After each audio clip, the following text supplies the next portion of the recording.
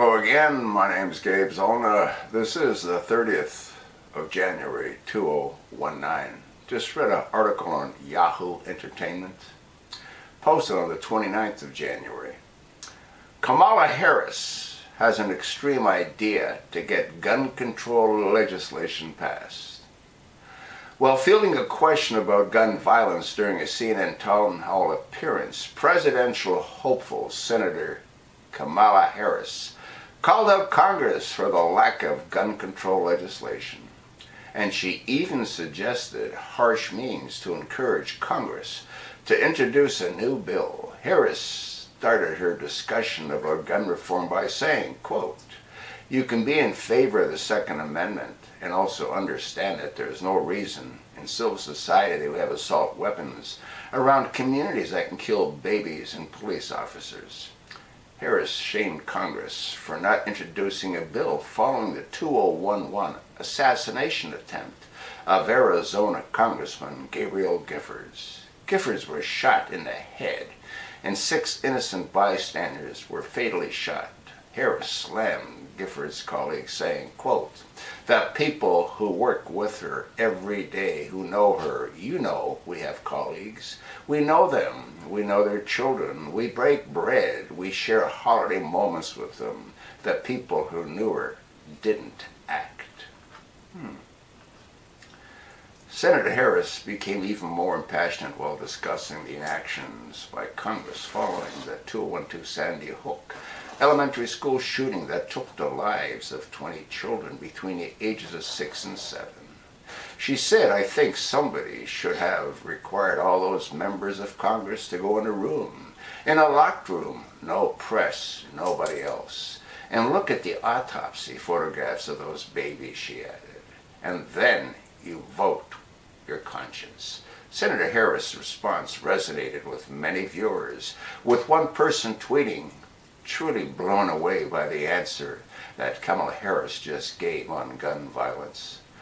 All right, let's uh, do a little bit of a recap. First of all, Jared Loughner used a Glock 19, a 9mm semi-automatic pistol. He didn't use an AR-15 or a long gun. That's number one. Number two, the jury is still out on Sandy Hook. If this thing moves forward uh, with uh, legal actions that are being taken, uh, then we'll see what kind of new evidence surfaces. What about the new law that Democrats just passed in New York by Governor Andrew Cuomo? Maybe people should go into a room and take a look at what's left as these babies that are full term are being butchered and taken apart. Maybe that's what they should be taking a look at. Huh? Absolute joke. You know what's amazing is they talk about gun legislation. What does that mean? Huh? You know what that means? It means total confiscation. Just like I said, Loughner used a semi-automatic 9 millimeter Glock with an extended magazine to create the carnage that he created.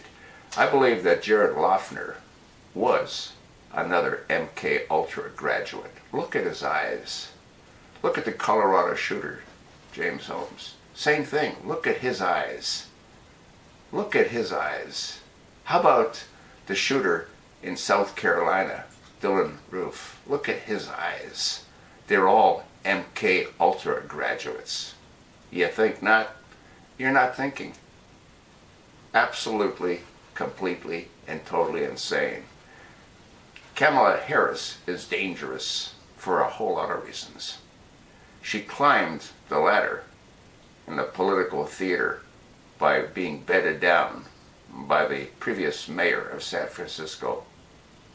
He was over 30 years her senior when she was screwing him.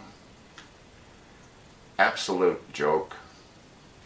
Kamala Harris, presidential hopeful.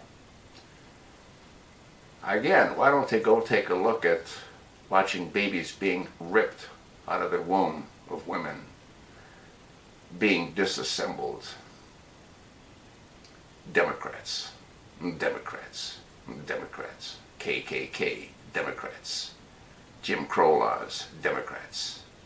Anything and everything that has horrific results revolve around who? Around Democrats. There's an embedded video, you might want to listen to this stupid bitch. And that's exactly what she is. A stupid bitch. You might want to repost this in your social media accounts. You might want to send a copy to that stupid bitch, Kamala Harris. Thanks for listening. Absolutely disgusting.